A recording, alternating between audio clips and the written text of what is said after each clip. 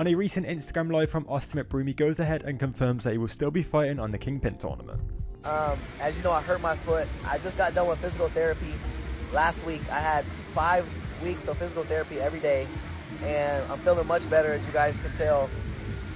Um, and my fight got postponed because a few of us were hurt and injured, so they gave us some more time to recover. And I believe they just made an announcement. I believe the next fight day is July 15th, Wait, and it's what? and it's in Ireland, Dublin. Wait, I so. thought it was July 1st. No, they changed it again.